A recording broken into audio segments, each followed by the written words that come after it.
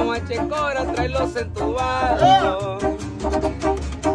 Los rifles también camuflajeados. Con casco y un cincuentón empotrado. Y una super buena casa de bandera, un cuerdo de disco y nueve en la piernera. carácter calma, es bravo